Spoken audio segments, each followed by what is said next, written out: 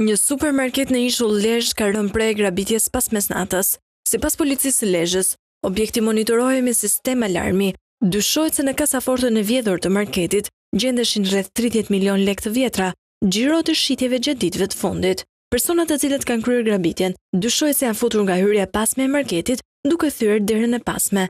Menjëherë pas njoftimit, Policia e Lezhës bën me dije se një grup i posaçëm hetimor ka shkuar në vendin e ngjarjes ku në drejtimin e prokurorit dhe me qëllim zbardhjen e autorësisë dhe të rrethanave të këtij rasti, vijojnë të kryhen të gjitha veprimet e nevojshme hetimore dhe proceduriale, si marrja e deklarimeve të punonjësve, këqyrja e kamerave të sigurisë dhe këqyrja e vendit të ngjarjes.